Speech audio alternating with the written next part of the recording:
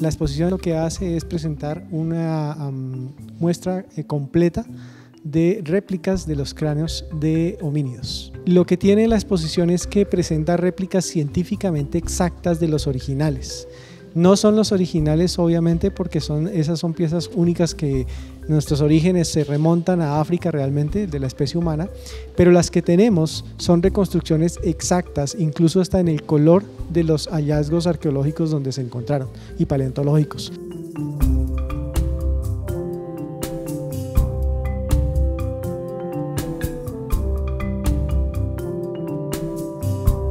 La exposición está organizada de manera que muestra esa variación que hay en las especies.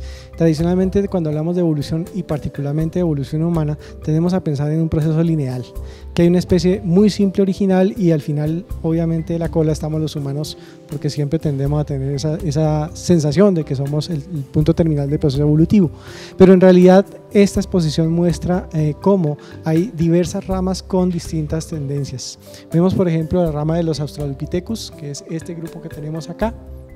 Vemos esta rama que es de los más antiguos, que es el grupo que estamos eh, hablando de los Aripithecus, Aquí tenemos el grupo Paranthropus, que es donde encontramos los que tienen las crestas mandibulares, las crestas eh, eh, dorsales más marcadas, y el grupo Homo, que es donde estamos nosotros, está acá arriba.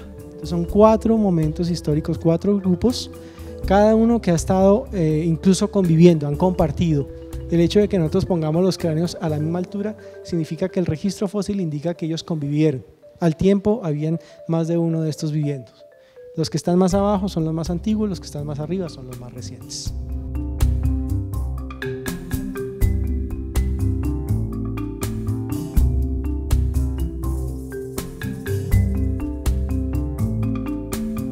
Y los cráneos fue un, proceso bastante complejo con el acompañamiento de antropólogos, biólogos y artistas que fabricaron a partir de, los, de las publicaciones científicas de estos cráneos, publica, eh, se, se, hace la reconstrucción en 3D, primero se hace un molde en, en material maleable, se pasa a, látex y luego se pasa a yeso.